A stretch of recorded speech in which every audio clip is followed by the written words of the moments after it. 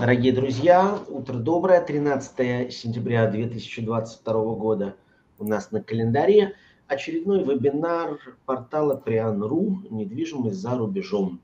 Говорить будем сегодня о недвижимости в Дубае, но не только о ней, в широком смысле поговорим и о том, что происходит на рынке, и о том, какие стратегии могут быть сейчас интересны инвесторам – и э, ближе к концу нашей передачи несколько э, слов о том, э, как правильно переехать в Дубай, какие возможности есть сейчас для тех, кто хочет открыть бизнес ну и так далее и тому подобное. Сразу представлю нашего главного эксперта сегодня. Это руководитель отдела продаж компании Caspian Real Estate Евгений Пирожок. Евгений, здравствуйте. Добрый день. Добрый день, друзья. Всех приветствую. Перед тем, как обратиться к Евгению, напомню, что у нас традиционно работает чат, в котором вы можете задавать вопросы по ходу вебинара. На подавляющее большинство обещаем ответить сегодня в рамках нашего вебинара. На те, на которые не успеем ответить, ответим в нашем материале, который э, будет опубликован через несколько дней, то есть к концу этой недели. Э, сразу, я думаю, мы можем публиковать и контакты э, Евгения и его компании тем самым э, ну, для тех, кто захочет потом э, по завершении мероприятия связаться с нашим экспертом, милости просим. Евгений, давайте пока в двух словах, к нам продолжают присоединяться зрители, о том, кто вы, что у вас за компания, чем вы занимаетесь. А, всех еще раз приветствую. Да, меня зовут э, Евгений Пирожок. Вот, как многие спрашивают, пирожок это что фамилия? Я всегда шучу, нет, это профессия. Да, действительно, такая есть фамилия. Вот, я ее яркий представитель. Изначально с Дубаем история была, скажем так, начало истории была связана с тем, что мы осуществляли торговлю непосредственно с этим, ну, в, в этом городе. А, занимались различными товарами, которые на тот момент были трендовыми, это автомобили, техника и так далее. А, вообще я по своей, скажем так, основной профессии да, за последние годы, я инвестор, инвестиционный советник и управлял капиталами двух крупных семей. И всегда, как ну, любой человек, кто занимается инвестициями, я всегда искал новые а, инструменты инвестирования, ну и, а, собственно, для того, чтобы расширять портфель, диверсифицировать, за счет чего снижал риски этого портфеля. Я искал э, инвестиции не только в Российской Федерации, мы инвестировали в Америку, и все больше и больше последние годы наше внимание стало привлекать э, Китай, Ближний Восток, и вот я приехал в Дубай и начал разбираться в рынке недвижимости. В рынке недвижимости, сразу скажу, начал разбираться еще заранее, то есть не приехав в Дубай. А, я поступил, э, наверное, скажем так, более консервативно, да, я не стал узнавать рынок сам, а, мы э, оплатили э, двух достаточно серьезных экспертов в Дубае, я просто у них обучался. То есть таким образом вышел на определенный уровень, начал приобретать недвижимость, продавать, некоторые объекты сдавал в аренду и за счет этого очень динамично увеличивал капитал, несмотря на движение рынка. После чего начал приобретать себе и партнерам. Мы ведем бизнес втроем, у нас три партнера. А, и когда увидел, что, ну, скажем так, чистота у нас сделок уже увеличивает там определенные пределы, увидел, что по процентному содержанию портфеля нашего инвестиционного недвижимость стала преобладать, я начал разбираться и пытаться прогнозировать на таймфрейм 3-5 лет – вот, и понял, что в районе 3-5 лет, даже с учетом кризисов, это единственный актив, в котором можно быть более или менее уверенным. И, собственно говоря, углубился в это э, изучение. А, мы зарегистрировали одну компанию Real Estate для того, чтобы с этих сделок получать процент от застройщиков. Вот, потому что инструмент инвестора – это не только диверсификация, но и экономия. Экономия при приобретении активов, при э, их перемещении и так далее. И ну, как-то так, э, скажем так, экологично вышло. Экологично вышло, что вот на данный момент а, портфель моих инвесторов, мой портфель э, моих партнеров больше, чем на 40% состоит из недвижимости. Я скажу, что эта цифра растет, и а, думаю, что где-то к апрелю, мы считаем к апрелю, к четвертому месяцу 2023 года этот процент будет почти 70. А, почему именно такая стратегия? Чем она основана? Чем она обоснована? И а, различные другие нюансы. Это все более подробно, скажем так, в конце э, я расскажу вебинара. И сразу скажу, если возникают какие-либо вопросы, а, если будут э, какие-то моменты, я очень рекомендую в рамках вебинара иметь что-то вроде рабочей тетради или блокнота, помечать те вопросы, которые у вас возникают в ходе, и в конце я, э, если э, будет такая возможность, Филипп предоставит Э, я отвечу на эти вопросы. То есть отвечу на вопросы по порядку, вот, э, чтобы, скажем так, э, ну, не, за, не отвечать на них по ходу, потому что будет теряться нить, нить повествования. Вот. И та информация, которую я хотел бы дать, я хотел бы ее дать, во-первых, максимально простым языком. Вот есть у меня такой талант. Я упрощаю многие сложные вещи до хорошо воспринимаемых. И я хотел бы за короткий промежуток времени а, за этот короткий таймфрейм дать столько полезной информации, сколько смогу, чтобы вы уже смогли ориентироваться и в рынке недвижимости, возможно, в мировой экономике. А, какие-то лайфхаки подскажу, а, их будет сегодня три минимум. Если кто-то в рамках выступления лайфхаки данные лайфхаки, скажем так, не рассмотрит, вот мы их расшифруем там уже более там подробно ходе личного общения или э, в ходе общения с нашей компанией. Хорошо, ну что ж, давайте раскрывать лайфхаки и начнем все-таки с общей ситуации в Дубае. Э, из Дубая приходит очень много информации, зачастую противоречивой, э, зачастую не до конца объясняющей суть феномена и этого рынка, его особенностей. Поэтому давайте, может быть, несколько минут посвятим этому. Что же на самом деле сейчас происходит в Дубае и почему происходит то, что происходит? Уж простите за тавтологию, пожалуйста. А, ну, если простыми словами, то Дубай на данный момент, ну, скажем так, окунемся в статистику. Он входит в пятерку лучших городов до кризиса, входил в пятерку лучших городов мира по рейтингу самый благоприятный для жизни, для бизнеса, для семьи, для построения общественных связей, для безопасности, э, в сфере медицины и так далее.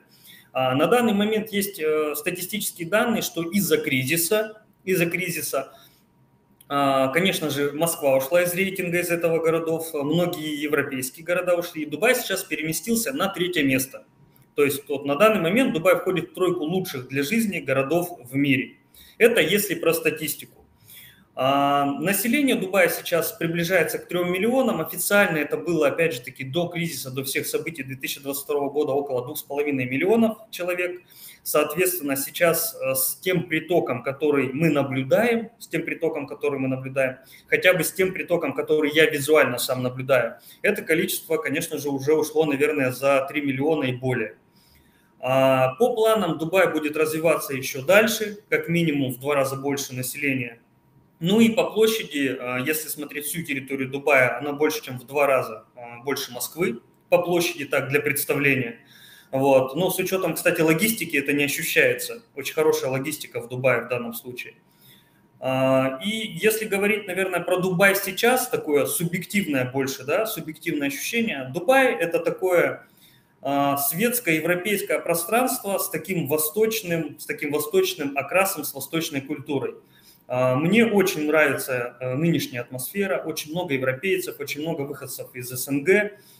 А, и, кстати, э, многие э, спрашивают, на каком языке здесь общаются. Здесь общаются в основном на английском, но больше, по нынешним данным, больше 300 тысяч здесь русскоязычных, русскоговорящих, более 300 тысяч. Общий процент можете подсчитать от общего населения. То есть а, и если мы говорим про Дубай как таковой, то здесь уже 90% живут, э, это резиденты, кто получил резидентство, это так называемые приезжие.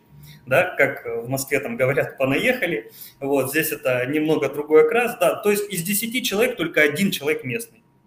То есть это такой, э, как его назвали недавно, город мечты, город новой американской арабской мечты.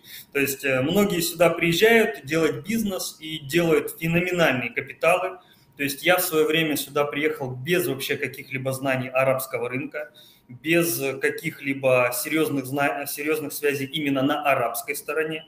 И ну, спустя определенный промежуток времени, ну, спустя там вот год, я их наработал, и ну, каких-то проблем, я скажу, не возникало. Сразу просто вопрос, а, вы давно вообще живете в Дубае? Сколько примерно уже здесь? Первые сделки в Дубае мы начали вести больше двух лет назад. Это первые сделки были в Дубае, это там 2019 год. Потом начали приезжать, уезжать из Дубая, и когда-то достиг такой, скажем так, определенный момент, когда мы поняли, что мы уезжать уже-то и не хотим нам смысла как бы и нет. Но, тем не менее, у меня остались бизнесы в России, и около, ну, где-то раз в полтора, в два месяца я все-таки летаю в Россию, период где-то на неделю, решаю свои дела и улетаю обратно. Скажите, пожалуйста, вы сказали о том, что Дубай вошел там в тройку, но э, рейтинговая оценка, это, знаете, такая история почетная, да, математическая. Если мы говорим о достоинствах Дубая, которые скорее можно почувствовать или передать на словах, а не выразить в цифрах? Что это такое? А, ну, во-первых, это уровень жизни. То есть э, самые дешевые, скажем так, магазины здесь в Дубае, самый масс-маркет, да, это уровень, э, скажем так, хороших, очень таких, где-то даже таких э, фермерских магазинов, да, продуктовых, я имею в виду, в России. Если мы говорим про, про жилье, то обычное жилье, обычная недвижимость в Дубае, как правило, включает в себя уже бассейн, который входит в, инфраструктуру, а, консьерж, охрана, спортзал, э, во многих есть сауна, хамам и так далее. То есть все это входит в, инфра, э, в инфраструктуру, то есть в России такие дома считаются домами VIP-класса, VIP-класса, премиум-класса. А, для Дубая это такой средний обычный дом. То есть первое, что здесь бросается в глаза, это высокий уровень нормы прежде всего для, скажем так, среднего населения. То есть средний класс здесь занимает такое достаточно большое количество среди общего, так скажем так, населения. И плюс-минус, э, вот мы недавно разговаривали с моим товарищем, который переехал тоже в Дубай, а, он вот мне такую рецензию дал там за последние полгода, он сказал, что человек, который мал, ну, маломальски соображает, маломальски предприимчив, а, даже особо без знаний, пускай языка, приезжая в Дубай, он запросто может занять место в среднем классе и прекрасно жить. То есть это и своя квартира в рассрочку, вот здесь беспроцентные рассрочки, здесь это, поговорим уже в конце вебинара, это все достаточно здесь доступно. Это и своя машина, это и достаточно, э, достаточно разнообразный досуг, ну плюс, конечно же, климат. Мне климат Дубая очень нравится. А, я люблю, когда 24 на 7 солнца, да, ну, не ночью, конечно же, я имею в виду круглый год. Ну, понятно, в такое в рядовое время, окей. А, хорошо, про уровень жизни понятно. А, что еще? Какие... Можем обратиться, например, к вашей презентации или как вам удобнее? А, наверное, давайте мы пойдем по вопросам, потому что это Давай, наиболее хорошо. структурировано для аудитории будет. Хорошо. И уже Хорошо, скажите тогда э, про э, ну, уровень жизни более-менее понятно. Но тем не менее, последний ну, год-полтора рынок недвижимости явно очень взбудоражен. То есть э, долгое время было падение с 2013 -го, сейчас рост. Действительно ли, вот вы говорите, много народу приехало, всем им надо жить, как это выглядит все изнутри? Много чего строят, дико растут цены или они дико растут? Несколько слов об этом. А, ну, здесь, наверное, нужно начать э, с того, что у правителей, в принципе, Арабских Эмиратов, да, но мы говорим, конечно же, еще про правителя Дубая, а, здесь, наверное, играет большую роль э, талант э, в управлении. Талант в управлении пространством, талант в управлении экономикой, талант в управлении городом. То есть в Дубае на данный момент созданы такие условия, в которые человеку хочется приехать, открыть свой бизнес, а, приобрести свою недвижимость, приобретать э, здесь, э, приобретать здесь другие бизнесы и так далее. То есть проживать. А, здесь очень разнообразный, шикарный досуг на любой вкус, а, на любой вкус э, и цвет. И в целом, то есть пространство сделано таким образом, что многим хочется сюда приезжать и жить. Ну, давайте по порядку. Во-первых, резиденты Дубая имеют экономическую и политическую безопасность. То есть э, информация о доходности и так далее, она не выдается. Во-вторых, здесь нет на данный момент налогов. То есть вы приобретаете недвижимость, и э, тот процент, который вы получаете с недвижимости, это средний процент, там 10%, это без роста недвижимости, от сдачи в аренду, э, вы получаете только себе. То есть все официально себе, любимому в карман. Кроме того, многие компании, которые находятся в свободной экономической зоне, они также не платят налоги, также не платят налоги. А, здесь достаточно легкое решение ну, различного там, ряда вопросов. А, ну и в целом здесь безопасный город, здесь можно гулять э, там, практически круглосуточно. Ну, я имею в виду, что то есть никакой безопасности. Низкий уровень преступлений, а, достаточно строгие, хорошие, продуманные законы и Э, вот э, в конце выступления будет Александра рассказывать про открытие компании, про переезд и так далее. Она об этом э, коснется более подробно, она в этом плане, в этом спектре очень хороший профессионал. Вот. Но в целом от себя я скажу, вот выражу, скажем так, в трех, страх, в трех, например, про страну, в трех словах. А, это пространство, в котором комфортно жить и в котором, скажем так, удобно жить, и здесь большие возможности. А если сравнивать, например, э, с бизнесом в России, я делал бизнес в России, то здесь за такое же количество усилий вы получаете ну, несоразмерно большие деньги. Плюс, а... да, да. Пожалуйста, продолжайте. Да. Угу. Плюс те же самые товары, например, там автомобили и так далее, здесь стоят э, намного дешевле. То есть у нас есть компания General Trading, мы направляем по параллельному импорту э, автомобили, и они выходят здесь дешевле намного, чем в России. Поэтому я думаю, что для того, чтобы понять, что такое Дубай, здесь нужно, наверное, более подробную консультацию по тем вопросам, то есть, которые именно интересуют человека. Мы контакты разместим, и наш специалист с радостью ответит. Э, возник вопрос сразу, э, чтобы была картина более целостной, про плюсы вы сказали, но все-таки без минусов невозможно, все-таки ну, не бывает. Или у вас такой взгляд, что никаких минусов нет. Я совершенно с вами согласен, да, без минусов не бывает. Более того, если я рассматриваю какой-то бизнес-план или если я составляю инвест-план, и я не вижу минусов, я начинаю нервничать. Так же и в жизни везде. То есть если я не вижу там каких-то всех шероховатостей, то я прекрасно понимаю, что я всего лишь где-то что-то недооценил. Здесь, конечно же, есть э, минусы. Для многих минус, э, например, это погодные условия. То есть кому-то, например, не нравится, кому-то нравится там снежок, кому-то нравится там холод и тогда и так далее. Ну, я сразу скажу. Вам что нравится? Что? Вам нравится, а кому-то вы вполне допускаете, то есть вы видите, что они идеальны явно не для всех. Ну, данные условия, да, то есть некоторые здесь на летнее время улетают, например, на Бали, либо улетают в Россию, вот. А, ну, я точно могу сказать, что некоторые здесь по снегу скучают, потому что здесь есть такой горнолыжный комплекс, где можете поиграть в снежки, покататься на лыжах и так далее. Да, это все, это все про Дубай, я говорю.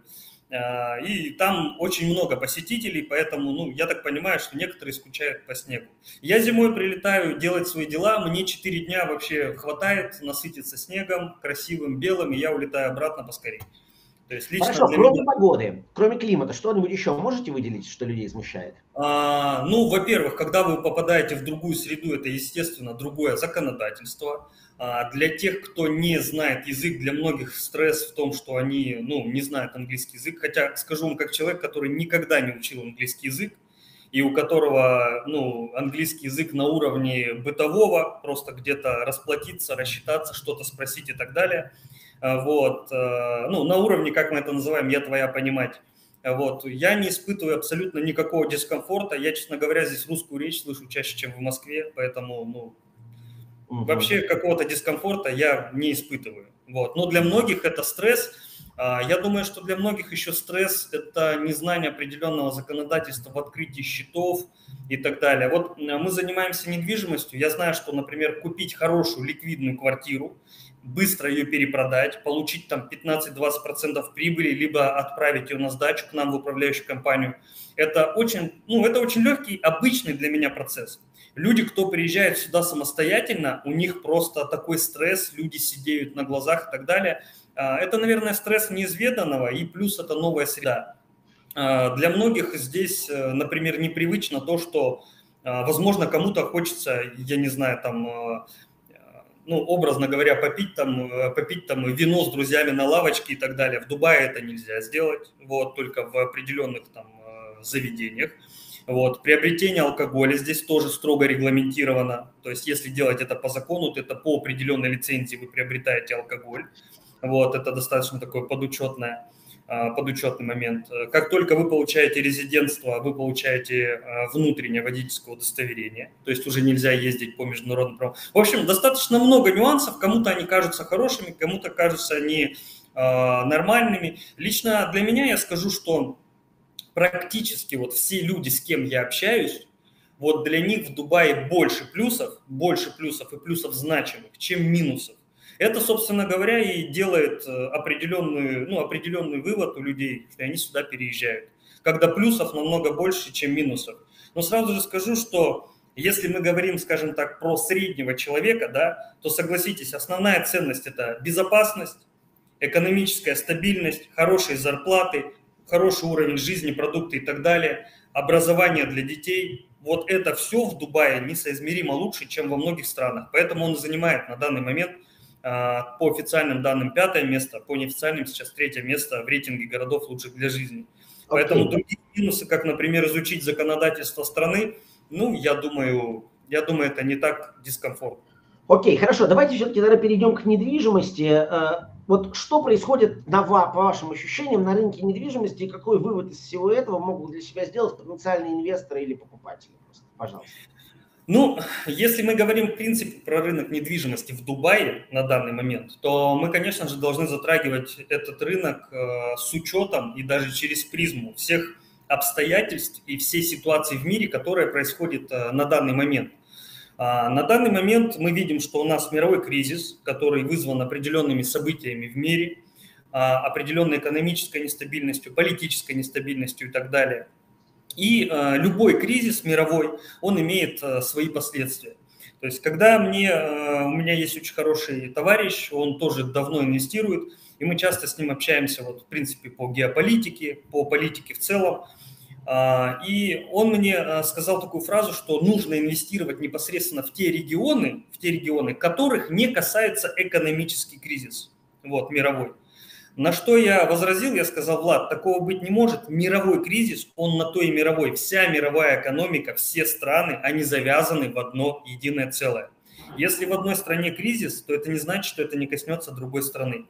Вот на данный момент это подтверждается тем, что как только мировой кризис начался, что мы видим с начала года? С начала года огромная. Можете посмотреть статистику переездов, можете посмотреть статистику компаний. Александр в конце вебинара вам про это подробно расскажет. Огромный, сейчас просто огромное количество людей переезжает в Дубай на совсем. Почему? Потому что в их стране нестабильно, в их стране экономически невыгодно, в их стране политически там, небезопасно и так далее. И со всего мира, из со всего мира, из экономического кризиса как раз-таки люди приезжают куда? Где безопасно, где нет этих проблем. Но это логично, это логично и достаточно просто. Поэтому вот Дубай сейчас стал такой а, точкой, он входит сейчас в топ-5 городов, куда люди стали переезжать после кризиса. То есть, а, если по открытию компаний, там статистика такая, что там за первые три месяца кризиса количество компаний, зарегистрированных в Дубае, было такое, как за 8 месяцев предыдущего года.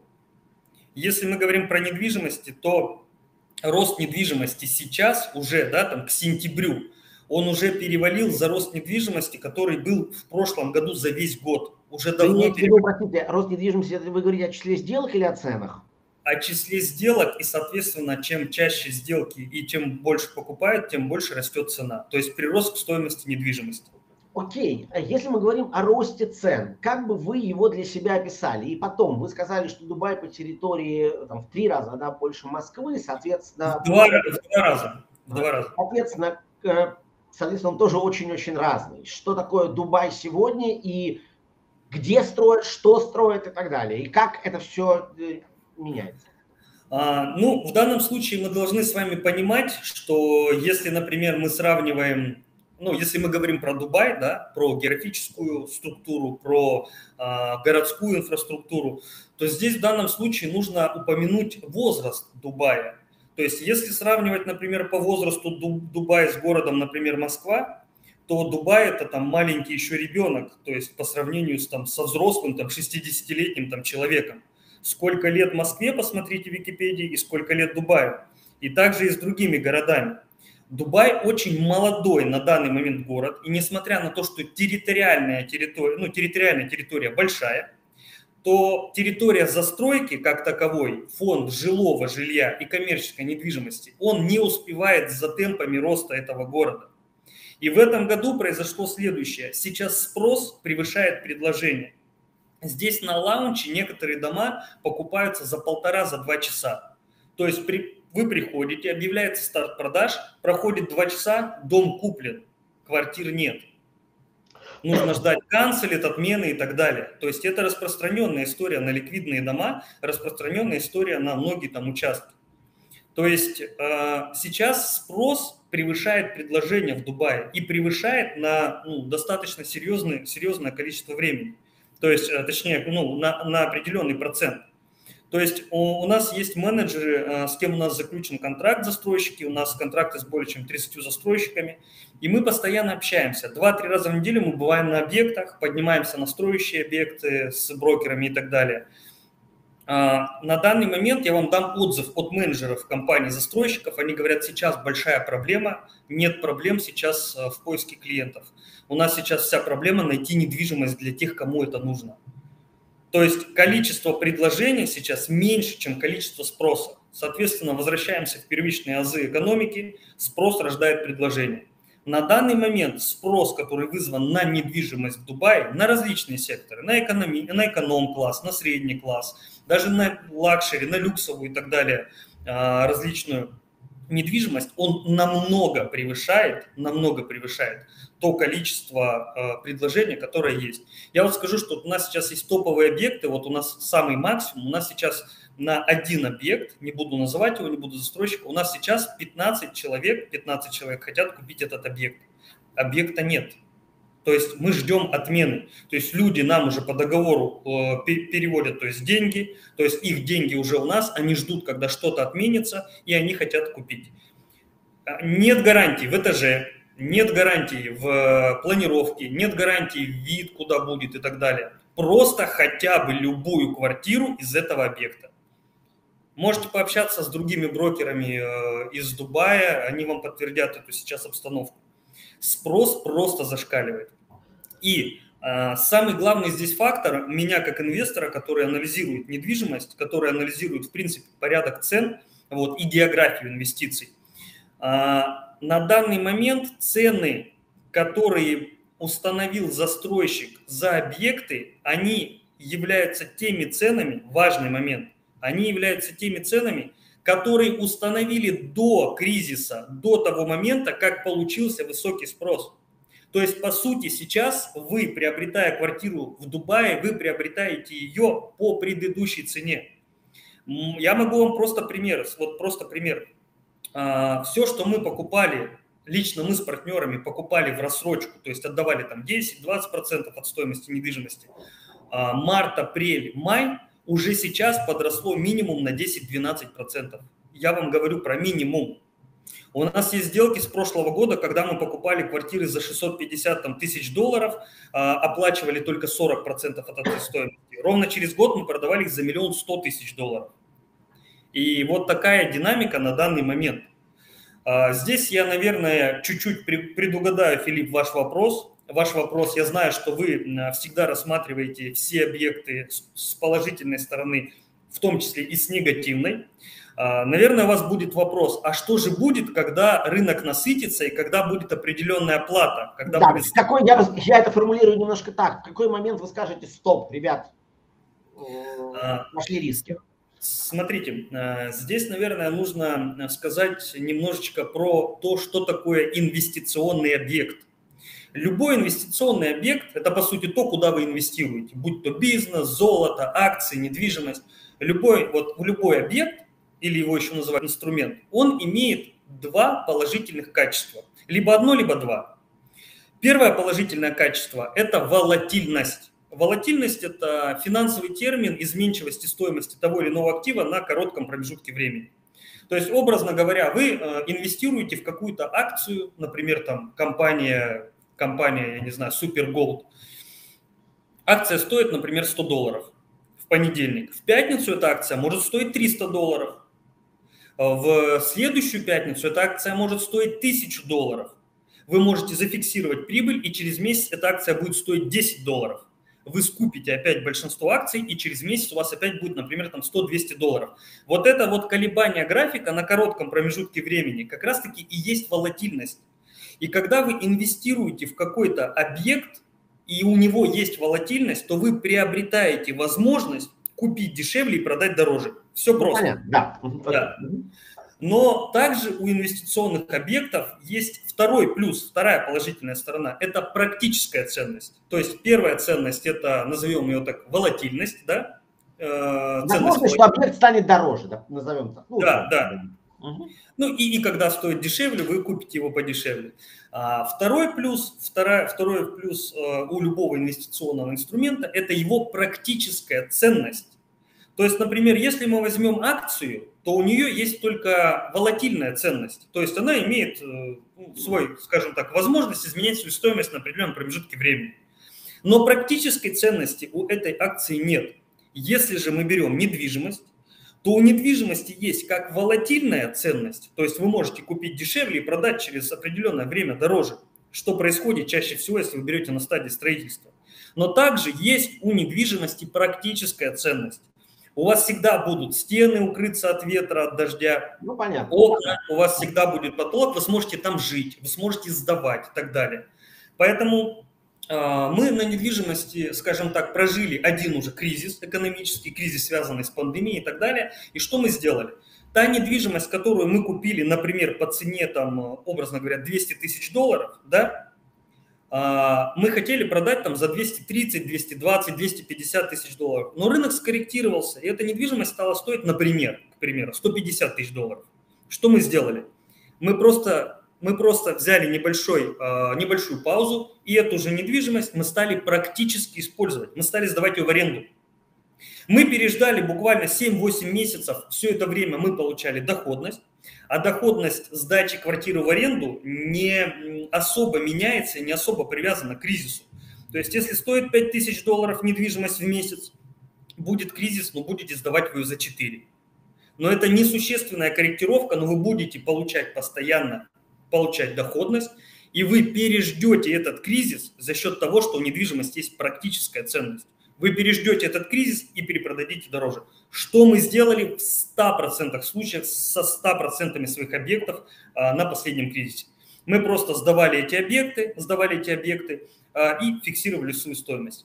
Очень серьезный плюс здесь в Дубае. На данный момент, если вы выплачиваете 40% от стоимости недвижимости, вы имеете право ее продать, даже если квартиры нет. Это очень быстрая процедура. Пример. Квартира стоит там 300 тысяч долларов.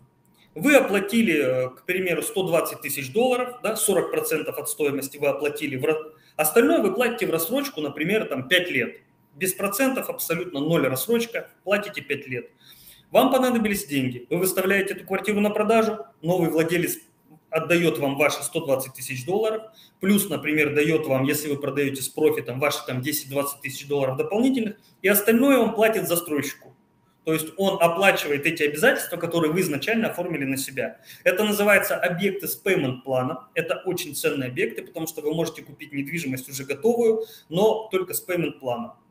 А, сразу же скажу, вот мне очень многие спрашивают, когда я говорю беспроцентная рассрочка, мне спрашивают, в чем подвох.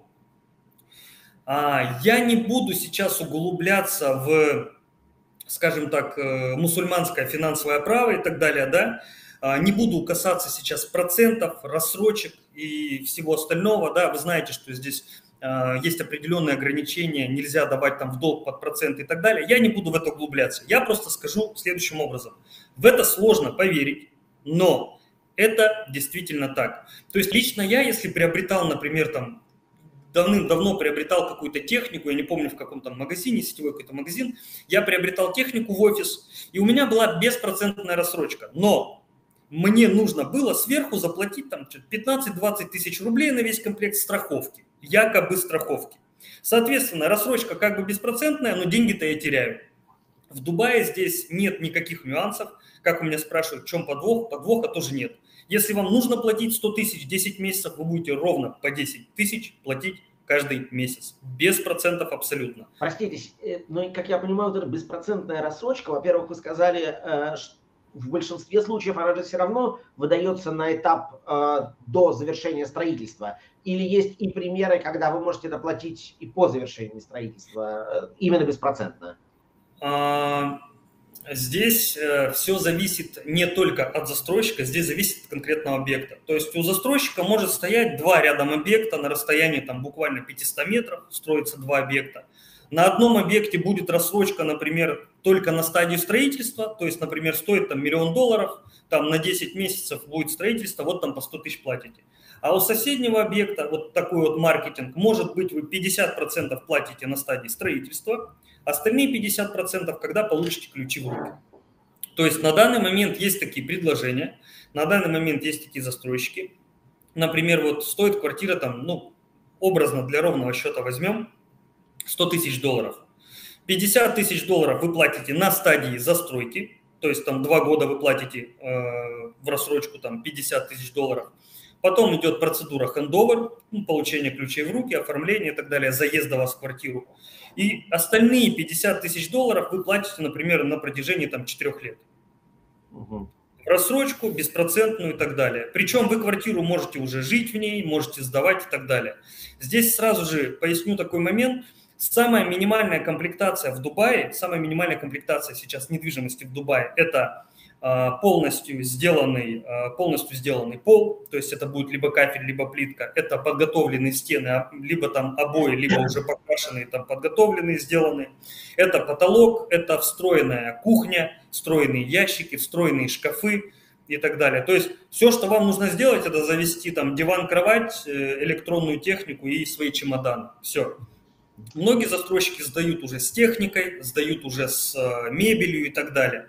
Вот, там есть четыре дизайна у многих застройщиков, там четыре вида дизайна на выбор и так далее. Вот, то есть а, я вот, например, жил в основном вот в новых таких домах. Я никогда не слышал никакого, знаете, как вот, например, в России у нас заезжаешь, а, вот я заезжал в России в новый дом, а, я заехал, другие люди заехали, и началось просто вот год ремонтов подряд, просто год ремонтов, не ну, скончается. Да. Да. такого, такого нет. В продолжении все-таки э, не до конца вы ответили. Э, вот хорошо, идет рост цен. Во-первых, какой он, везде ли он одинаковый? И когда наступит тот момент, когда вы скажете, оп, ребят, стоп, вот здесь покупать не надо, потому что, ну, э, произошло некое насыщение или цены выросли до такого уровня, когда уже ну, нет объективно э, возможности дальнейшего роста?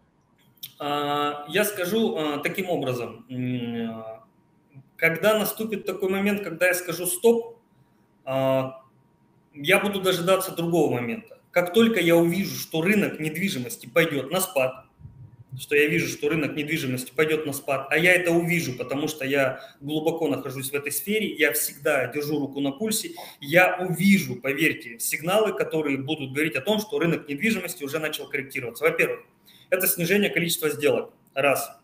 Во-вторых, те объекты, которые покупались раньше там за 2-3 дня, они начинают продаваться, например, за неделю, за месяц и так далее ну и другие показатели, это явный показатель того, это явный показатель того, что рынок недвижимости начал корректироваться. Вот именно в этот момент нужно часть своих активов продавать, часть недвижимости продавать, то есть фиксировать пул денег. И когда рынок, когда рынок недвижимости уже скорректируется до какого-то уровня, вот этим пулом выкупать на низах недвижимость, которая скорректировалась. Потому что спустя определенный период времени эта недвижимость, во-первых, все равно отрастет и даст очень хорошие проценты, очень хороший щедрый процент. Мы это проходили не единожды. И это первый момент. И второй момент, эту недвижимость также можно сдавать. То есть а, представьте, что у меня есть там, например, квартир на там, 500 тысяч там, долларов, да, там, например, там 2-3 квартиры, там, студии, там, one bedroom, неважно. Я вижу, что рынок корректируется, я их продаю, я их продаю, у меня выделяется капитал в 500 тысяч долларов. Рынок корректируется, например, на 30% вниз, и я скупаю недвижимость и начинаю ее сдавать. И те проценты, которые я получаю от сдачи, если сравнить их с общим количеством приобретенной недвижимости, они все равно будут высокие. Когда еще недвижимость отрастет, я получу свои еще дополнительные проценты. То есть, наверное, стоп я не скажу, я скажу, а, ребят, освобождаем активы, для того, чтобы через там 3-4 месяца на холодном рынке, ну, холод, не холодном рынке, а, скажем так, на скорректированном рынке выкупить те активы, которые люди продают дешевле. А, Евгений, попрошу все-таки, э, вот к нам уже начали поступать вопросы, один из них как раз вот в жилу сейчас по теме. А что происходит сейчас на вторичном рынке? Э, ведь есть много инвесторов, которые там полгода назад, год назад покупали на котловане, есть ли спрос на вторичку и нет ли трудностей с перепродажей вот в данный момент? А, на данный момент я вообще скажу, что в целом за недвижимость в Дубае сейчас огромный э, сейчас спрос. То есть э, найти, например, какие-то апартаменты, отдохнуть, особенно сейчас, там, период, там, э, скажем так, туристический, сейчас сезон начался, там, сентябрь, октябрь, ноябрь, декабрь, вот в эти месяцы попробуйте найти какие-нибудь апартаменты, вы, вы увидите цены. А особенно в районах туристических, но ну, это прям практически нереально, огромные цены – а, и, в принципе, потому что большой рост. Недвижимость вторичная перепродается, перепродается с очень хорошим, с очень хорошим а, плюсом и профитом. Ну, я на данный момент больше предпочитаю рынок первичной недвижимости. Я думаю, что где-то через года два-три все-таки рынок уже больше будет переходить доля всех сделок на вторичную недвижимость вот, потому что там цены должны э, скорректироваться. Но на данный момент вторичный рынок я рассматриваю меньше. Объясню почему. Потому что а, при покупке вторичного жилья вы уже, собственно говоря, платите те проценты, те проценты, которые зарабатывает тот человек, который, как правильно вы сказали, взял на стадии котлована. Я не люблю переплачивать за объекты, я не люблю, а, если отсутствует план рассрочки, я не люблю за какой-либо объект отдавать деньги сразу и не, ну, это неправильный инвестиционный подход. Если у меня есть возможность приобрести за 50% какой-то актив, который будет работать как тот актив, за который я заплатил 100%, я воспользуюсь этой возможностью. Но, тем не менее, на вторичном жилье, на данный момент вторичное жилье, оно активно покупается, перепродается. Почему? Потому что, вернемся к началу нашего вебинара, очень многие люди сюда переезжают. Им нужно уже готовое жилье прямо в данный момент, прямо здесь сейчас. А, я наблюдал март-апрель, люди сюда с чемоданами приезжали, семьями переезжали. Естественно, а, у них выбор следующий. Либо за очень большие деньги снимать а, в аренду квартиру, за очень большую, а если у вас резидентство, есть определенные законодательные, там, в законодательстве моменты, там, о том, что вы не сможете снять на долгий срок, там, и так далее, цены будут другие. Либо вам снимать в аренду и покупать жилье, которое построится через полтора-два года, либо вам взять вторичное жилье прямо сейчас, прямо в данный момент. Поэтому вторичное жилье и первичное жилье, и вторичное жилье, оно находит своих инвесторов, находит своих покупателей. Опять же таки повторюсь, а, спрос сейчас ну, не просто высокий, спрос просто бешеный. Спросите маломальски что-то понимающего в рынке инвестора, а, спросите любого брокера сейчас на рынке недвижимости, даже тех брокеров, кто не проводит инвестиционный анализ и так далее. Мы для каждого клиента проводим отдельный инвестиционный анализ на любую сумму. А, спросите любого брокера, даже кто это не делает. Вам все скажут, ребят, рынок бешеный. Хорошо. А, но смотрите, вы сами говорите, что Дубай, он большой. Есть э, там одни районы, есть другие районы. Э, Причем э, тоже я вот смотрел, разные аналитические материалы говорят, что в некоторых районах рост очень большой, в некоторых он меньше. От чего это зависит? И, опять же, инвестиционный подбор и выбор района, как это все сочетается? Может быть, об этом несколько слов. А, давайте я, наверное, более наглядно а, покажу, чтобы зрителям было видно. Я... Давайте, на карте вы имеете в виду? Да, на карте я запущу демонстрацию экрана. У нас есть э, небольшая, скажем так, заготовка, да. Большинство вопросов мы сейчас прошли. А, друзья, э, если кому-то потребуется э, слайдовая часть и так далее, можете писать смело мне в личку. А, вот, контакты указаны, мы направим вам презентацию. Я что... пожалуйста, еще разочек в чате. Да, Евгений, э, у вас тут даже что-то уже кружочками обведено в двух словах. Да, да. А, скажите, пожалуйста, видно ли мой экран? Более Точнее, да, да, да, видно, видно. Да, а видно ли мой курсор? Курсор курсор, э, сейчас нет, курсор, э, мне, коллеги, скажите, мне, честно говоря, не видно курсор. Окей, окей, хорошо. Ну, давайте, давайте без курсора попробуем так. Давайте без курсора. Будем влево-право ориентироваться. А, да, а, в верхней части, в верхней части, а, верхней слева части у нас отмечена всеми известная так называемая пальма. Э, так называемая Пальма. Это остров полностью искусственный, который был отстроен в море. То есть вот где сейчас располагается Пальма, где сейчас располагаются дома, когда-то там просто плавали рыбы, плавали иногда люди, корабли. То есть ничего абсолютно не было. Это грандиозное по своему масштабу сооружение. Но есть, кстати, Пальма, которая в два раза больше, чем в два раза больше. Вот. Но на данный момент она заселена, и там практически не осталось земли для того, чтобы строить недвижимость. А, ниже слева от Пальмы мы видим район, а, который объединяет в себя GBR, Дубай Марина и GLT. А, я думаю, что, наверное, процентов 80 всех людей, кто был когда-либо в Дубае, они прекрасно знают, что такое Дубай Марина, что такое GBR, GLT и так далее, потому что они прогуливались по Марина Вок, прогуливались по пляжу. А, с пляжа GBR, кстати, есть пешеходный мост, можно попасть запросто на Blue Water, где находится самое большое колесо обозрения в мире. В общем, это такой туристический район. То есть туристический район, где с учетом сложившегося маркетинга и так далее, там 80, э, наверное, процентов всех людей там побывало, пожило там и так далее. То есть вот практически все, кто в Дубае, были либо на Дубай-Марине в GBR, либо есть еще другой, а, скажем так, кружочек, он справа, видите, где расположена башня Бурж-Халифа, это район Бизнес-Бэй, и э, район, который с ним соседствует э, по площади 2,5 квадратных километра, это даунтаун. Э, называется район Даунтаун. Там знаменитые фонтаны, Бурж-Халифа и так далее, и так далее, многие другие достопримечательности.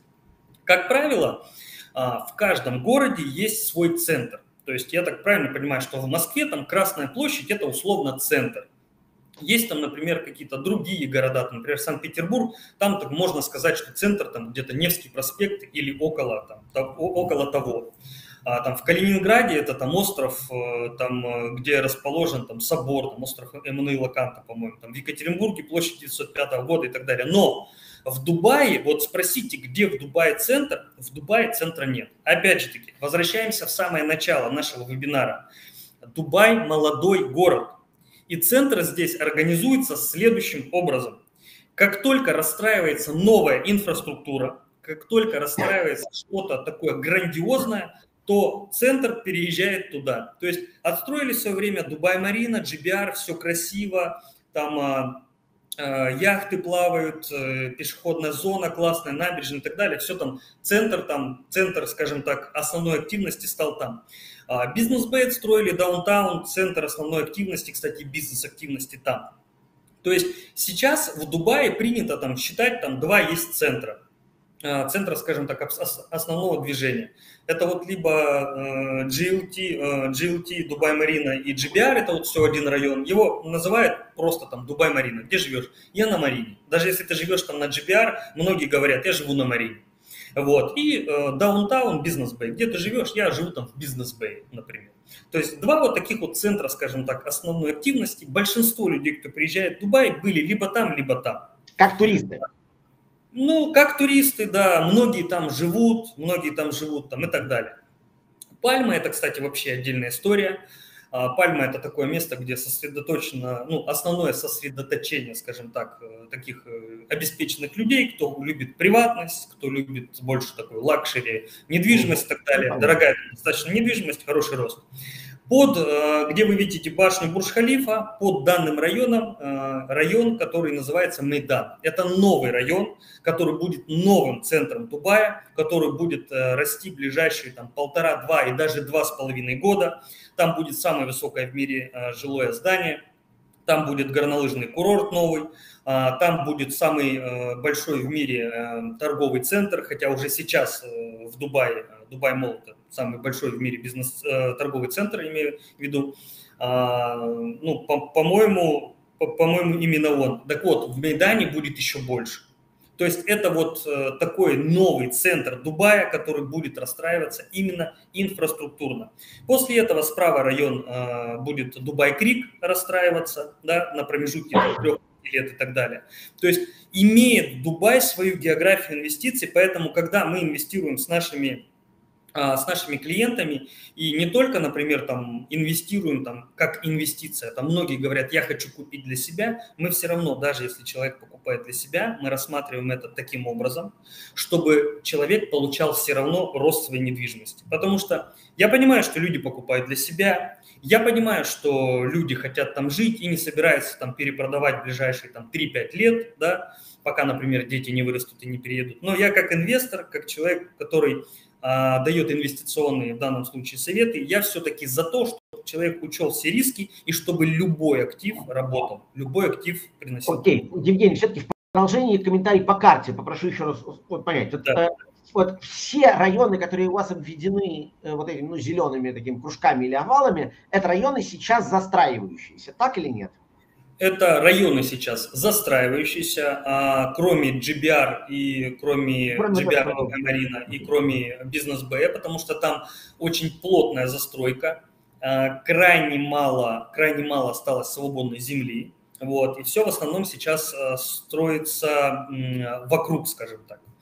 А, район, например, GVC, Jumeirah Village Circle, это отмечен снизу слева, и рядом с ним район, а, это GVT, это как раз-таки районы, которые застраиваются, там а, очень хороший ценник, и инвесторы получают там очень хорошую, на данный момент, э, очень хорошую а, доходность, потому что стоимость жилья по а, соотношению, например, арендных платежей, сколько они арендуют э, сервис-чардж и перепродажи, она очень хорошая по стоимости. И низкий порог входа в рынок, очень хорошие рассрочки, опять-таки. А вы сами, кстати, где живете, в каком из этих районов? А, я, я живу в GVC, это район, где живут в основном местные, там нет туристов и так далее. Я жил на Пальме, я жил в GBR, я жил в Бизнес Бэй, в Даунтауне жил. А, и вот я на данный момент выбрал себе именно GVC, потому что там, э, как правило, нет туристов, там есть э, несколько отелей очень высокого класса, очень популярных отелей, но, как правило, все, кто туда приезжают, они, как правило, в этом районе не остаются, они уезжают куда-то в более туристические места, опять же таки, вот Дубай-Марина, либо бизнес-бэй, там, даунтаун. Если мы говорим о ценах, э, вот вы показали здесь у вас 7 вот таких кружков или овалов. Можно ли сказать, что вот принцип, чем ближе к воде, э, тем дороже? Какой из этих районов, скажем, более бюджетный, какой менее? А, И, кстати, вопрос, какой вот сразу вопрос от Владимира, какой чек входа минимальный для инвестора сейчас? А, друзья, я на примере прям конкретных, э, конкретных планов рассрочек в конце вебинара, в конце вебинара подробно об этом расскажу. Коснусь этого вопроса. А, сейчас я отвечу, наверное, на ваш вопрос, Филипп, относительно воды. А, в Дубае играет большую роль, ну это естественно, это логично, если объект расположен у воды, если объект расположен у моря, то это, во-первых, шаговая доступность к морю, во-вторых, это красивый вид там и так далее.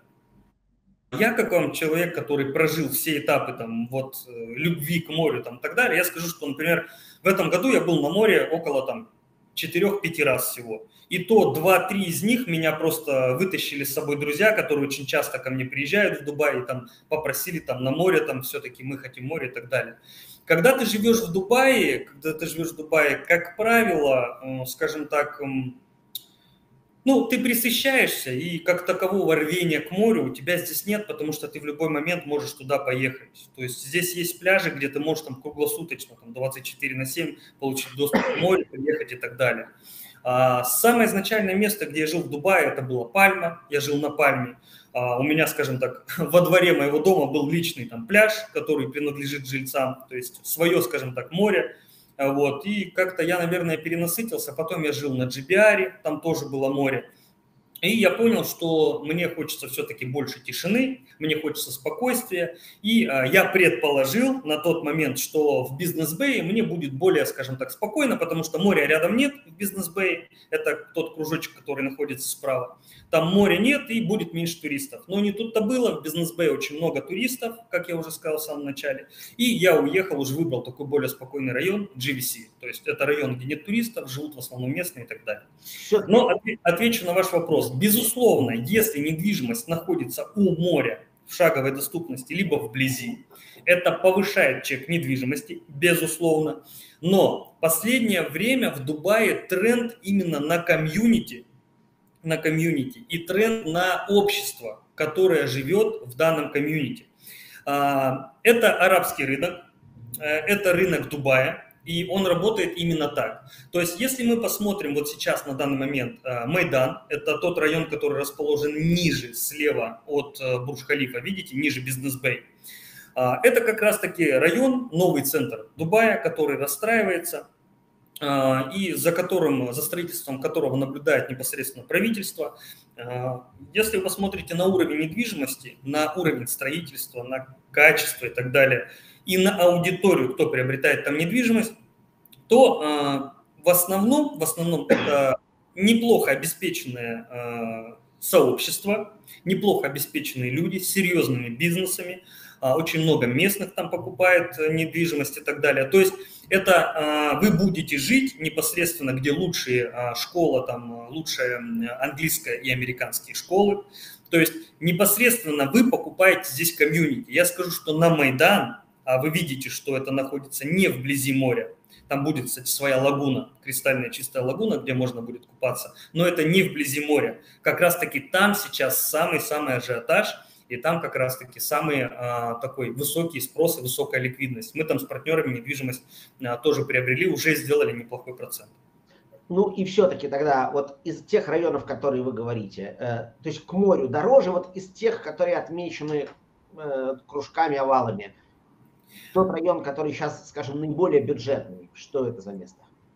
А, наиболее бюджетный район, это, конечно же, я бы выделил GVT, это тоже район такой, который только-только застраивается, там достаточно немного домов, там очень хорошая транспортная доступность, например, до того же самого моря, там до Дубай-Марина, там 10-15 минут, ну 15 минут а, на машине. Вот. И, э, в принципе, здесь нужно понимать, наверное, специфику Дубая. А, здесь не будет такого, что у вас построен дом, и рядом с домом нет ничего.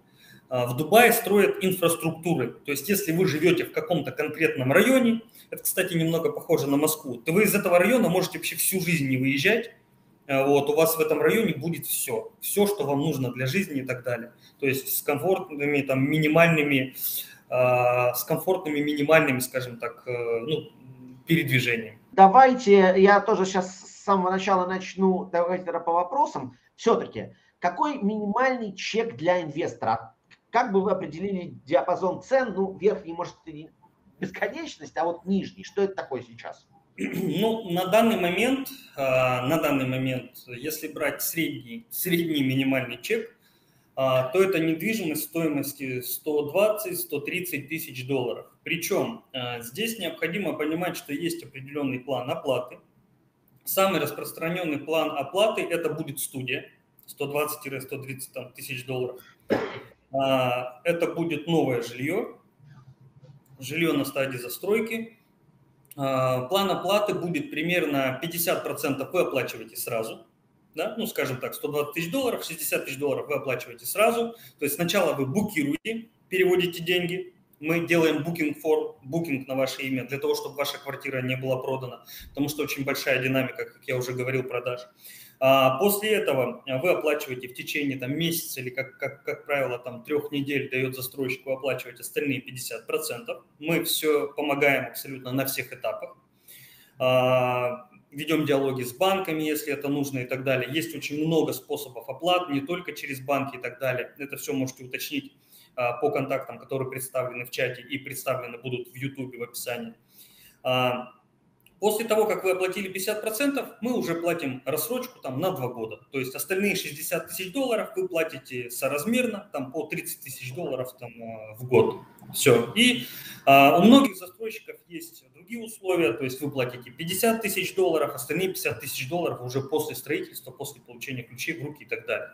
То есть, а, имея буквально 40-50 тысяч долларов, вы уже можете приобрести недвижимость, и вы уже выплатите более 40%, вы уже сможете ее перепродавать. То есть, скажем так, общий порог входа а, в рынок недвижимости в Дубае на данный момент, в рынок ликвидной недвижимости, это нижний порог ликвидной недвижимости, который я бы оценил, а, это 40-50 тысяч долларов. Скажите, пожалуйста, вот а, минимальные цифры. Вы уже касались немножко этого вопроса. Что это за объект что на выходе будет?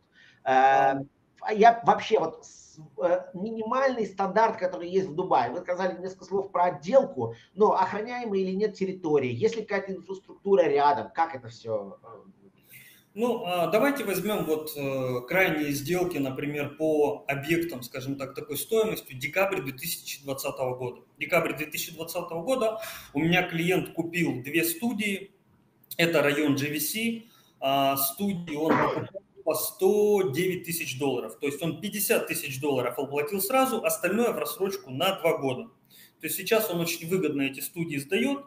А, в доме 32 этажа, эти студии видовые, студии уже, как я сказал, минимальная, минимальная комплектация, полностью сделанный санузел с душевой, с техникой и так далее, с сантехникой имею в виду, а встроенный шкаф, встроенная кухня, уже полностью подготовленная, все там. То есть, то есть, что мы сделали? Мы поставили диван, стол, пару объектов еще мебели, пару предметов мебели, а, Э, зарегистрировали необходимые кабинеты и так далее. Все сделала наша компания. И, собственно говоря, клиент отдал нашей же компании на обслуживание, на сдачу в аренду а, эту недвижимость. То есть вот что мы сделали, то есть все там было готово.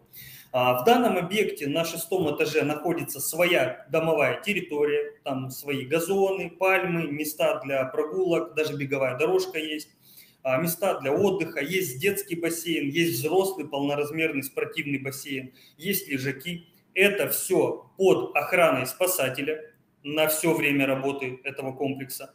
А, это все входит в сервис-чардж.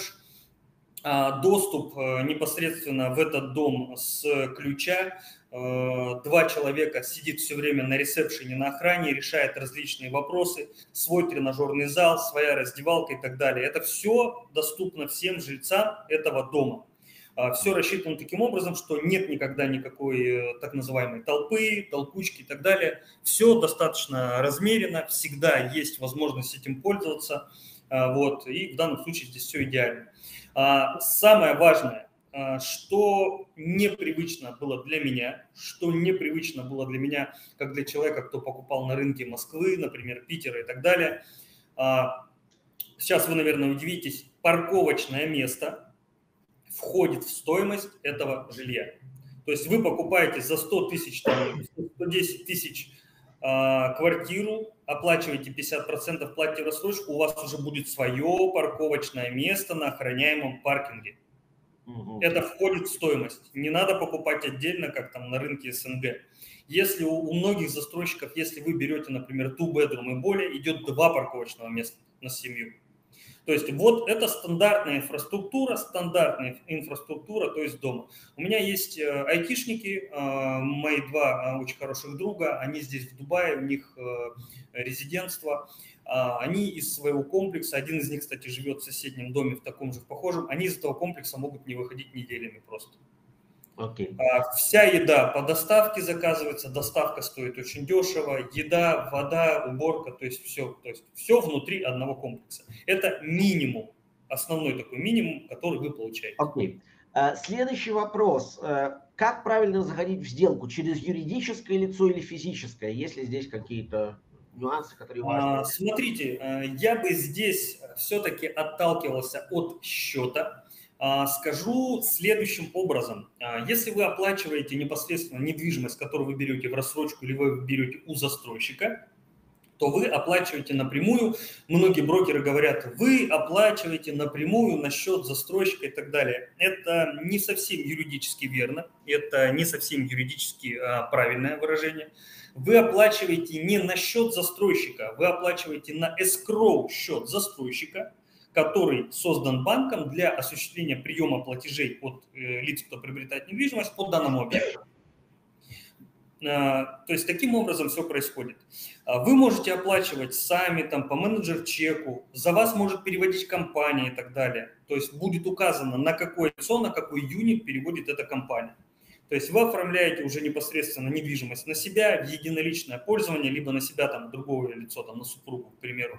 Вот, эта квартира полностью ваша, 100%, э, с правом передачи по наследству.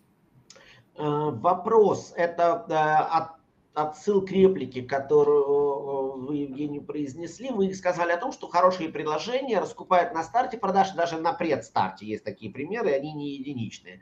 Значит ли это, что если квартира в строящемся жилом комплексе продается 2-3 месяца, соответственно, это не ликвид, и с ней что-то не так, она никого не заинтересовала? А, смотрите, есть горячие предложения, горячие предложения – а, это, то есть, предложения, которые мы знаем, что буквально там за полгода можно сделать 30-40% и так далее. Многие объекты делают check, то есть 2, x2 к стоимости. А, то есть, естественно, такие объекты, тут святое место пусто не бывает, такие объекты раскупают очень быстро.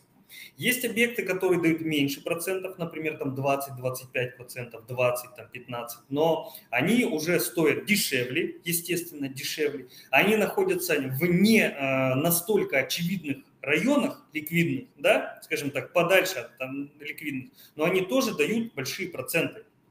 И а, есть э, недвижимость, которая находится, например, в районах подальше, но она по сравнению с своей стоимостью дает очень высокий процент.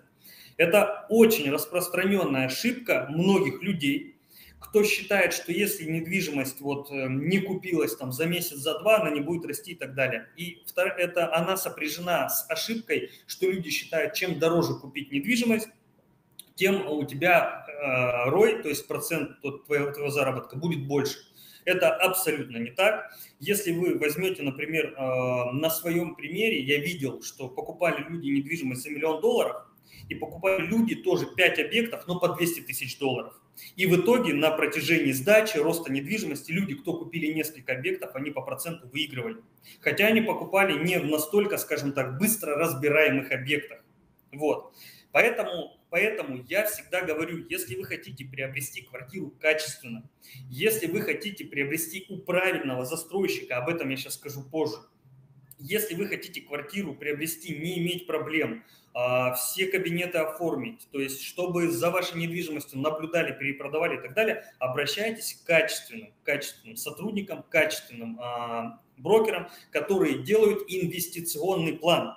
Потому что многие привыкли на рынке СНГ, что брокер, он же риэлтор, да, это тот человек, кто просто покажет тебе квартиру, просто составит договор, просто возьмет с тебя деньги, как бы и все, да? Ну, это тоже непросто, скажем так. Что? В России это тоже непросто, скажем так. Ну, такой пом- помогатор, знаете, такой, такой, такой посредник. А, вот. Но если мы говорим, э, если мы говорим про недвижимость в Дубае, здесь немного другой рынок. Чем глубже компетенция человека, кто непосредственно занимается плотно недвижимостью, кстати, срок занятия недвижимостью, срок, сколько человек работает брокером, не равно его компетенция. Я знаю брокеров, кто здесь работает 5 лет и более, и когда я у них спрашиваю, что такое застройщик полного цикла, они мне не могут ответить. Об этом я сейчас коснусь, это очень важно. Поговорим об этом. Окей, да. Э, давайте еще буквально кратко, потому что вопросов очень много, на все мы даже можем не успеть ответить. Несколько слов про ваши услуги при сдаче в аренду. Какой, сколько вы за это берете, если сдавать краткосрочно или долгосрочно? Буквально реплика об этом.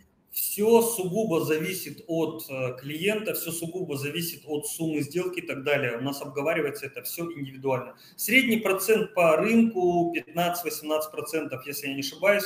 Но опять же таки скажу, мы компания полного цикла. Именно Caspian Real Estate – это компания полного цикла. У нас есть торговая компания, у нас есть компания, вот, которая осуществляет в партнерстве э, услуги там для наших клиентов, и мы скидки делаем для наших клиентов там при оформлении, например, того же самого резидентства, там счетов и так далее.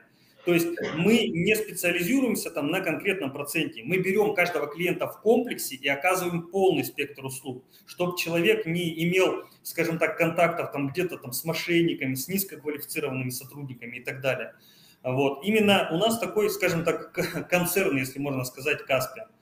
То есть э, наши услуги идут сугубо от инвестора. Я скажу, что у меня вот есть инвесторы, например, сдачу э, в аренду недвижимости, их вот, например, половину недвижимости мы сдаем абсолютно без процентов. Потому что мы взаимодействуем с ними на других именно, ну, по другим точкам соприкасаемся и взаимно зарабатываем. То есть э, у нас стратегически вот именно эта компания построена таким образом, что мы развиваем как раз-таки сеть партнерств. То есть мы с течением времени пришли э, к такой ситуации, что практически не осталось, скажем так, вот города, где бы мы не могли через своих клиентов, друзей решить какой-то вопрос. То есть у одного клиента возникает вопрос там по поставке какого-то товара, он мне задает, задает вопрос, у нас есть клиент, кто этим занимается. Мы просто их сводим и, собственно говоря, так работаем таким большим обществом. Okay. Uh, Буквально еще один вопрос вот от зрителей, и после этого переходим уже к нашей финальной части. Несколько слов про банковское финансирование, вообще э, насколько банки финансируют, то есть можно ли э, заниматься не рассрочкой, а скорее просто ну, ипотеку взять, и, соответственно, какие условия сейчас э, есть здесь? А, такие условия есть, можно добиться процента 3-4%, в зависимости от того, резидент человек, не резидент. 3,4 в смысле вы сказали, или 3-4? 3-4. Ага, да, ну, средний, скажем так. Ага. Все зависит от личности непосредственно а, человека, кто берет ипотеку, от предоставленных документов и от проделанной нами работы. Окей. Okay. Ну и давайте теперь несколько слов вообще про структуру. Э, дело в том, что э, предложения, в том числе на русскоязычном рынке, для граждан Украины, Белоруссии, Казахстана, России, с которыми мы работаем, я это сам вижу, оно множится. То есть предложений много, застройщиков много. А, когда мы говорим о каких-то других рынках, я сейчас про дубайский не говорю, про него сейчас вы расскажете. Э, все говорят, надо смотреть историю, надо смотреть, что построил и так далее. Кто вообще сейчас строит в Дубае? Какова палитра этих предложений, если смотреть не со стороны покупателя, а со стороны продавца? А, опять же таки, я углублюсь в этот вопрос, потому что мы к вопросу инвестирования в недвижимость э, подходим э, очень серьезно, потому что мы сами инвестируем с партнерами в недвижимость, сами имеем пул недвижимости и, э, скажем, ну, каждый день с этим взаимодействуем. А, необходимо знать, что застройщиков в Дубае достаточно много. Вот у нас договор сейчас, там более 30 застройщиков, у нас с ними заключен договор на сотрудничество. А, и Застройщиков очень много. Есть местные застройщики, есть британские застройщики, есть застройщики э, из Афганистана, даже из Сирии. То есть достаточно крупные концерны, кто зашли как серьезные э, девелоперы на данный рынок. То есть строят не только здесь, в Абу-Даби и вообще там по всему миру.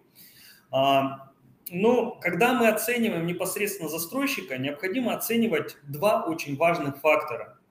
Когда мы с клиентами это проговариваем, многие брокеры, кстати, даже этого не знают, есть застройщики полного, есть застройщики неполного цикла. Это самый важный фактор, который необходимо оценивать, когда вы выбираете застройщика, выбираете объект.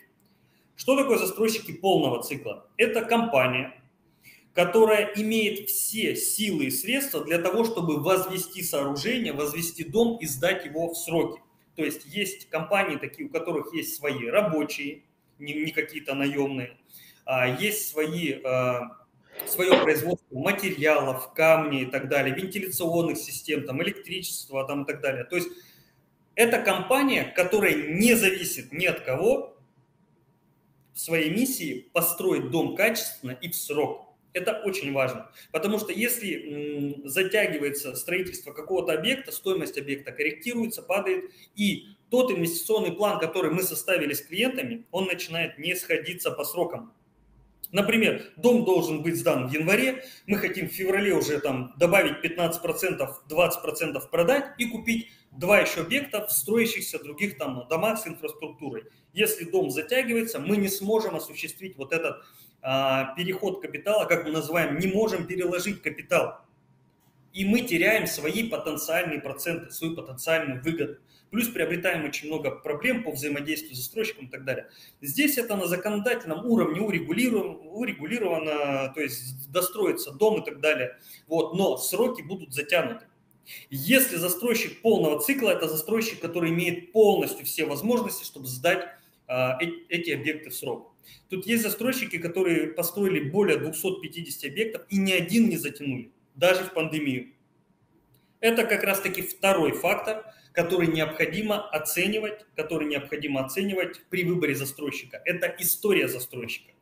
История с данных объектов, история взаимодействия клиентов со службой, которая осуществляет хендовер, передачу клиента там, клиенту а, ключей в руки, сдачи помещения, устранения недостатков и так далее. Это очень емкий, очень сложный процесс. У нас этим занимается три отдельных сотрудника. А, занимаются сдачей, а, сдачей и приемом помещения, приемом помещения у застройщика, контролем сроков, контролем взаимодействия непосредственно вот с застройщиком, с менеджерами, поддержания контакта. И сразу же отвечу на вопрос, который задавали в чате, что такое регистрация кабинетов. Как только вы, вы сдали свое жилье, вы получили свое жилье и так далее, а, вы не можете взять и просто там получить ключи и зайти в свое жилье и жить. Это невозможно.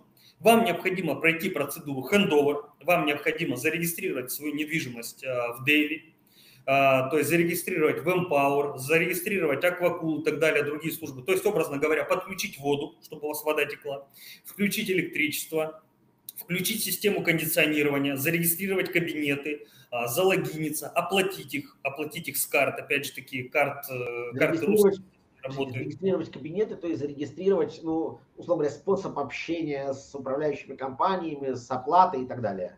Да-да-да, зарегистрировать то есть себя в системе, свою квартиру, чтобы подключить и так далее. Как правило, кто этим занимался, они дадут сейчас подтверждение моим словам. Это крайне долгий процесс на английском языке. Кабинеты, ну, есть кабинеты, которые слетают, которые там не удается зарегистрировать и так далее, и так далее. Многие не могут по 3-4 месяца зарегистрировать себе какой-то там отдельный кабинет. У нас занимаются этим уже ребята, кто это все быстро делает, взаимодействует, начинает прозванивать и так далее, скажем так, проталкивать, лоббировать этого, этот вопрос для наших клиентов, для того, чтобы вы все зарегистрировали, подключили и заехали уже в свою квартиру. Окей. Okay. А, все-таки, а, по вашим ощущениям, а, ну вот вы сами говорите, что в Дубае практически нет незаконченных объектов. То есть вот Проблема Нет, я, я так не сказал. Я, я сразу, Филипп, оговорюсь, я так не сказал. Недостроенные объекты в Дубае есть, это факт. А, они на данный момент есть, они присутствуют. А, есть те объекты, а, например, которые были недостроены два года назад, полтора года назад объект был недостроен на Марине. Мы его выкупали у человека, кто его приобрел, минус 40% от рынка и сейчас мы его продали практически в два с половиной раза дороже. То есть такое тоже имеет место быть. Вот, то есть э, сначала это как раз-таки компании неполного цикла. То есть есть компании полного цикла, есть неполного цикла. Компания неполного цикла – это организация, которая использует подрядные э, другие, там, скажем, организации по договору, там, например, пять компаний. Первая компания устанавливает коробку, вторая проводит электричество, третья кондиционирование, четвертая вентиляцию, пятая компания совершает отделку, фасадные работы и так далее. Естественно, вы не будете делать фасадные работы, если электричество и водопровод не установлены. Если эти компании, которые работают по подряду, они затягивают свои сроки, то все идет наслаивающийся, ну, то есть процесс ну, понятно, да. Поэтому есть такие дома, и пока судебные тяжбы по одному моменту не пройдут, то другие объекты, они, ну, точнее, другие работы, они не будут проведены. А там четко оговорены сроки.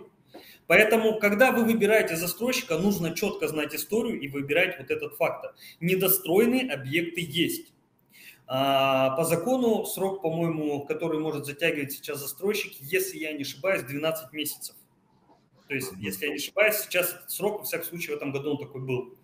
А, мы выбираем только а, застройщиков проверенных, только выгодных. только нас... полного цикла или вы допускаете возможность не с полным циклом работать? Мы допускаем, мы допускаем использование в инвест-портфеле а, объектов от застройщиков неполного цикла в трех вариантах. Должно сойтись три звезды, скажем так.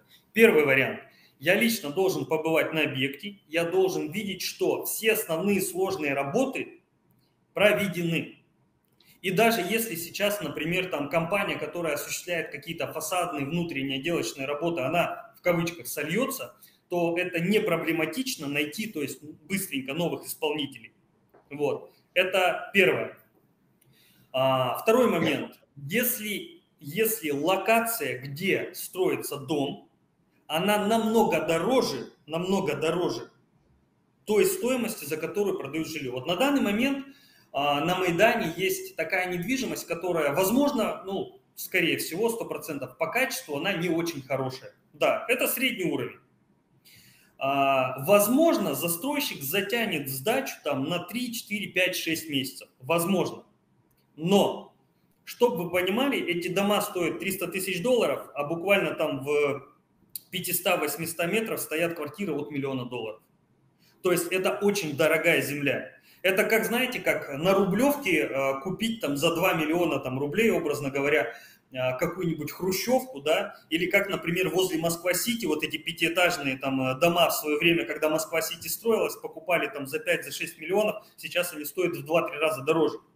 Мы прекрасно понимаем, что локация, мы в данном случае покупаем не недвижимость, мы покупаем локацию. И, и третий фактор, мы должны это все проговорить клиенту, и инвестиционный план клиента, он должен включать в себя возможность, возможность корректировки инвестиционного плана на эту сумму, именно там на вот этот срок задержки. В таком случае, да, у меня есть такие клиенты, есть клиенты, которые вложили очень хорошие деньги, опять же таки в объект, который, возможно, затянется по срокам, возможно, будет невысокий качеством, но я знаю, что та локация, та земля, которую, на которой он расположен, она даст кратный, кратный результат. Это мы сразу все проговорили. Сейчас уже большинство там достроено, все коробки достроены, коммуникации основные там уже достроены. С этим учетом у меня клиент не спешит, он готов инвестировать, зато он за меньшие, э, так сказать, за ту же самую сумму он взял большее количество объектов. А когда человек приходит и видит, э, вот какой объект, вот такая цена. А можно ли в Дубае говорить о возможности снизить эту цену? Вот, условно говоря, за 400 не возьму, за 380 возьму. И какова вероятность того, что застройщик согласится, что для этого надо сделать? А, здесь играет огромную роль огромную роль правильно выстроенная и проведенная работа с представителем застройщика в целом. Конечно же, все мы люди, все мы люди, э, и э, напрямую все взаимодействие нашего клиента с нами идет с нами. Но мы лоббируем интересы клиента, и поэтому э, самая большая скидка, которую я делал клиенту на объект недвижимости, это 15%. То есть есть у меня такой кейс, 15% от стоимости недвижимости. А, средний скидка, которая делается сейчас застройщиками при хороших чеках, при хороших, а, скажем так, при хороших там планах рассрочки, это 5-7%. Это возможно, это возможно, если выстроить правильный диалог с менеджером а, непосредственно застройщика.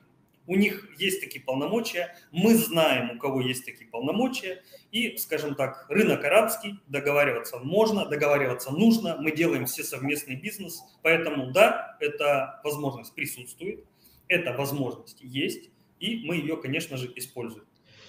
А, следующий вопрос, уже, наверное, один из последних, который мы успеем с вами сегодня осветить. А, какой срок э, инвестиционных проектов сейчас? Какова доходность, если я правильно понял вопрос, э, какую доходность на протяжении ну, ближайшего года можно э, прогнозировать, на ваш взгляд, и что это должно быть такое за объекты?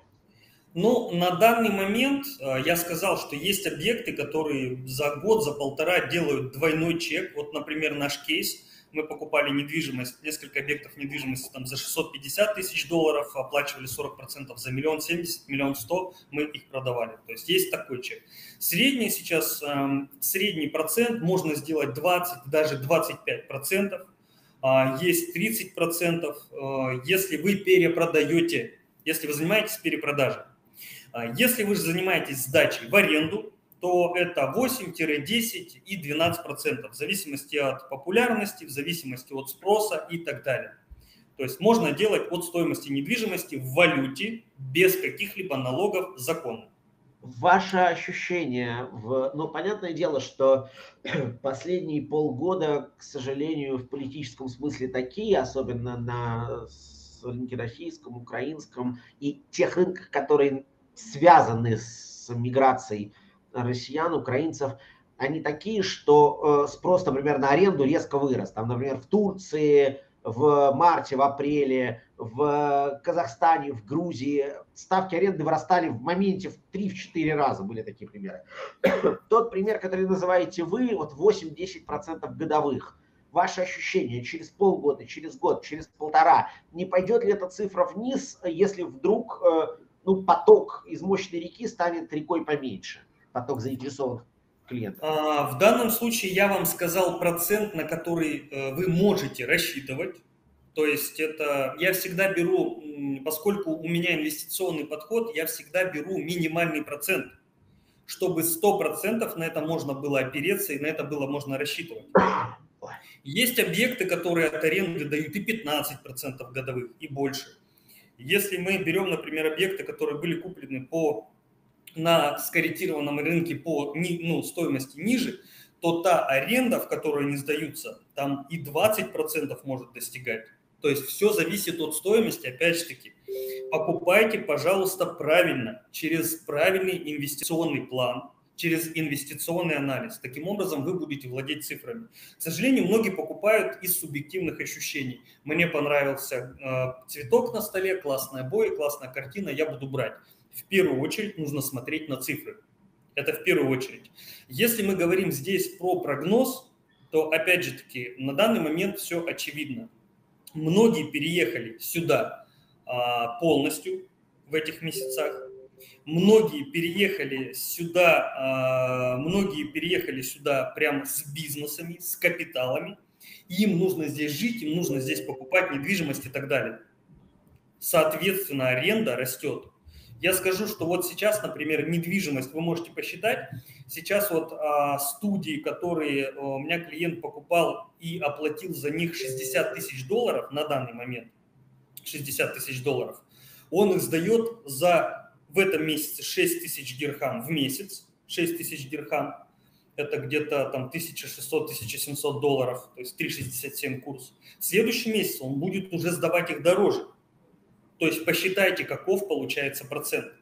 То есть если в среднем даже возьмем там полторы тысячи долларов и так далее, то есть он потратил 60 тысяч долларов и получает доходность где-то в 15-17 тысяч долларов на данный момент. Okay. Это, это высокий процент от... Не, и этот процент, этот процент мы рассчитываем, когда я говорю 8-10%, например, 10%, необходимо включать э, здесь математику. Стоимость недвижимости 120 тысяч долларов мы сдаем ее там в год, получаем там, например, 10%, там, ну, там 12 ну, тысяч в месяц, да. Вот, да, по тысяче в месяц. Но потратили там мы на нее 50 тысяч долларов, 50% ну, остальное платим в рассрочку. И если мы смотрим доходность от вложенных средств, то это уже выходит не 12%. Да, это, это, это математика понятна. Так, простите, что-то похоже, у нас в Питере холодно, у вас теплее. Ух. Да, Пара вопросов, связанных с содержанием недвижимости. Эм, как можно оценить ежегодные расходы на содержание недвижимости в среднем на квадратный метр? А, я, наверное, я, наверное, сейчас соединю этот вопрос с вопросом относительно, э, относительно условий индивидуальных собственников и с налогами и так далее. А, стоимость, стоимость обслуживания квадратного, здесь square foot и квадратного фута может отличаться у одного и того же застройщика в зависимости от объекта.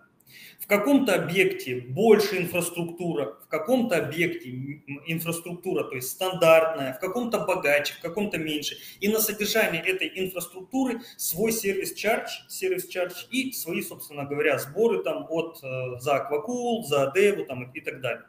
То есть все строго индивидуально. Нет какой-то вот прям единого сервис-чаржа там, например, там на какой-то объект. Застройщик на данный объект устанавливает свой сервис-чардж, и, как правило, организация, кто осуществляет обслуживание данного объекта, это компания уже как раз-таки застройщика.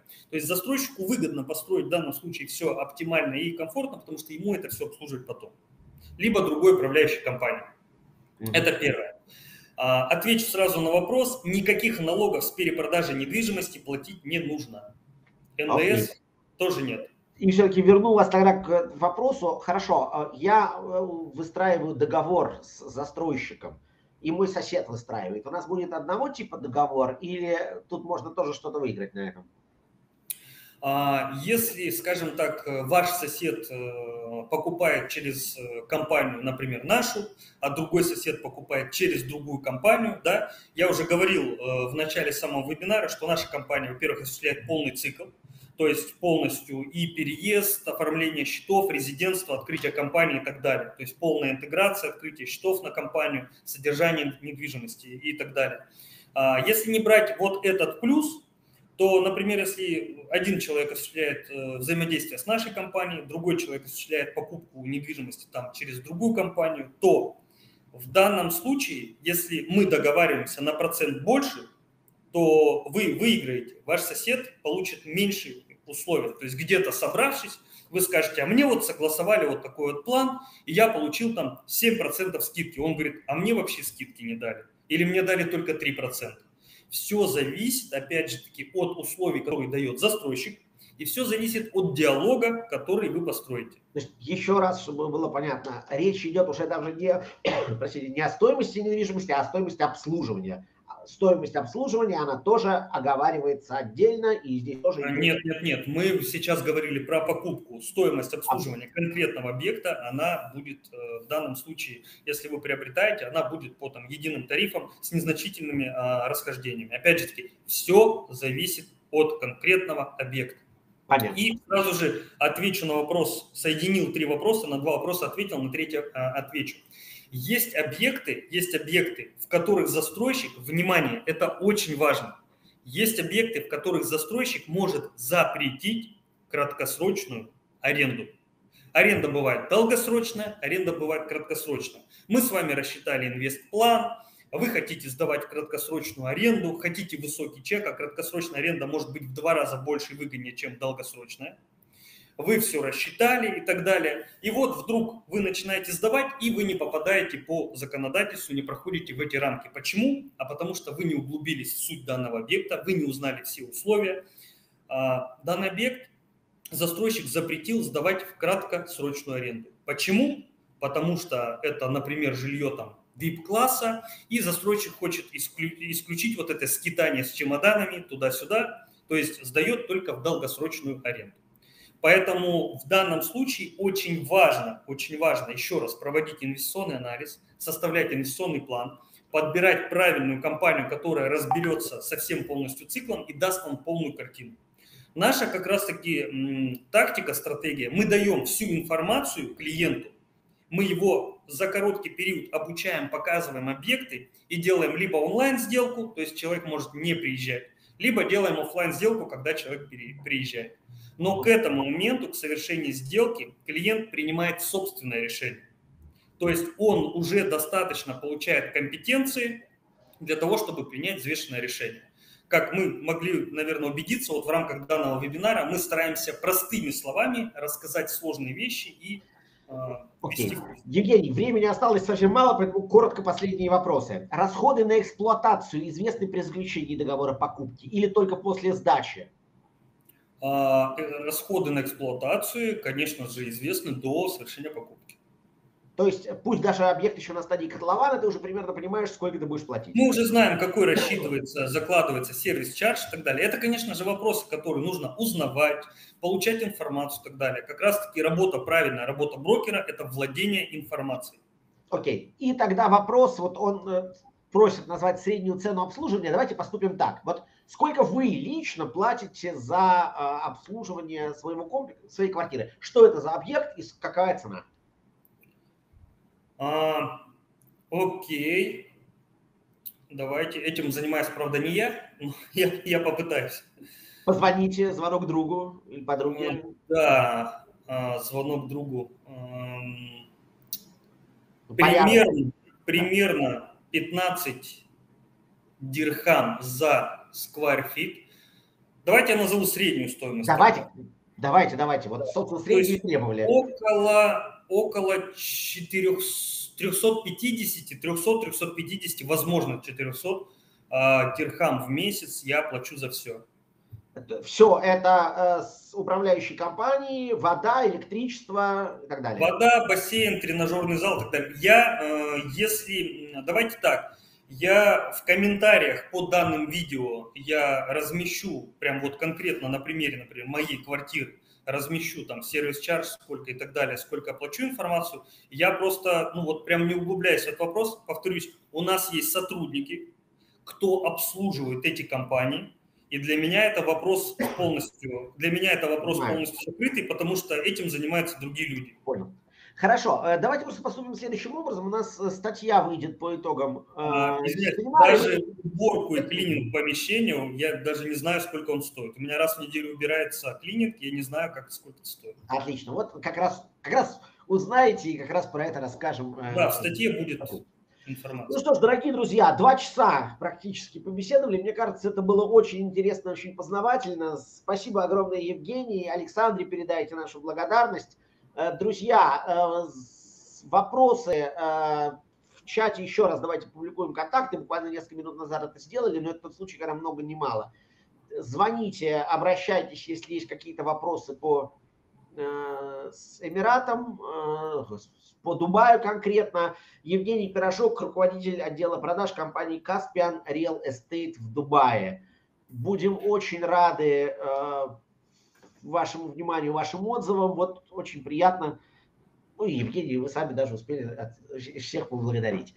Э, в ближайшее время выложим видео в наш канал, э, выложим в Телеграме отчет и опубликуем статью. Она будет несколько шире, чем то, о чем мы здесь успели поговорить, потому что, в общем, времени э, на все, как обычно, не хватает, даже двух часов. Евгений, спасибо буквально вам. 30, буквально 30 Пожалуйста. секунд. Всем большое спасибо за внимание. Я очень люблю информативные вебинары, очень люблю отзыв, а, люблю хорошие вопросы. А, я получил удовольствие от сегодняшнего вебинара. Два часа пролетело прямо вот на одном дыхании. Это показатель качественного, а, качественного вебинара и качественной аудитории. Большое спасибо за внимание. А, также, а, наверное, мы разместим ссылку на свой телеграм-канал. У нас есть телеграм-канал. В прошлом году клиенты наши попросили завести телеграм-канал. Там новости про Дубай, про законодательство, про застройку, про различные вебинары и так далее. Я думаю, многим будет интересно. И там много информации, в том числе, кстати, и там есть тарифы по сервис-чарджу. Вот. От себя скажу спасибо большое вам, Филипп, спасибо всем организаторам. Было Спасибо. Приятно. Друзья, и, естественно, в статье тоже, и в статье, и в Ютубе контакты и Евгения, и их каналов тоже будут, так что не потеряемся. Спасибо вам большое. До встречи на наших вебинарах. И, Евгений, вам спасибо огромное. Действительно, соглашусь с вами, большое удовольствие провел, последние два часа получили. Друзья, до встречи. Всем хорошего дня. До свидания.